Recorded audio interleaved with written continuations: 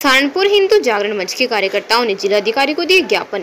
के माध्यम से मुख्यमंत्री योगी आदित्यनाथ से मदरसों की जाँच की मांग। हिंदू जागरण मंच के कार्यकर्ताओं ने मुख्यमंत्री योगी आदित्यनाथ से मदरसों की जाँच कराए जाने की मांग की। हिंदू जागरण मंच के प्रांत संपर्क प्रमुख ठाकुर सूर्यकांत सिंह के नेतृत्व में कलेक्टर पहुँचे जिलाधिकारी के माध्यम से मुख्यमंत्री योगी आदित्यनाथ को एक ज्ञापन प्रेषित किया।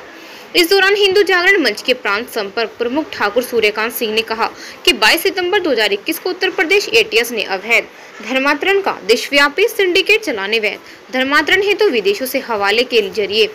फंडिंग करने में मौलाना कलीम सिद्दीकी को गिरफ़्तार किया है जो शरीयत के अनुसार व्यवस्था लागू करने हेतु जनसंख्या अनुपात बदलने के उद्देश्य से बृहद स्तर पर धर्मांतरण करवाता था। इन्होंने देश भर में ये धर्मांतरण का अवैध रैकेट मदरसों की फंडिंग से तैयार किया है। ये लोग भड़काऊ साहित्य और वीडियो प्रसारित करते थे जो लोगों को उकसाने का कार्य करते थे। हिंदू जागरण मंच ने उत्तर प्रदेश सरकार से निम्न बिंदुओं पर जाँच करवाने और कठोर कार्रवाई कराने जाने की मांग की है। हाँ आज हिंदू जागरण मंच मेरठ प्रांत के सभी 21 ज़िलों में, जो ये धर्मांतरण की पश्चिम उत्तर प्रदेश में बहुत बड़ा रैकेट जो का खुलासा हुआ है, इसकी गहनता से जाँच करने के लिए और एक पाँच सूत्रीय मांग को रखते हुए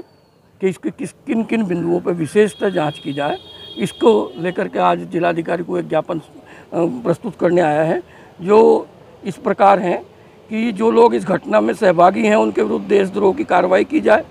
इन मदरसों की मान्यता की जाँच की जाए, मदरसों के संचालकों के चाल चलन, सामाजिक गतिविधियों की गहनता से जाँच की जाए, मदरसों में तालीम देने वाले मौलवी कहाँ के हैं, उनकी पारिवारिक पृष्ठभूमि क्या है, इससे पहले कहाँ थे और उनका चाल चलन क्या था, इन सब तथ्यों की जाँच की जाए। मदरसों में किन लोगों का आना जाना रहता है, उसके लिए कैमरे लगवाने का आदेश दिया जाए।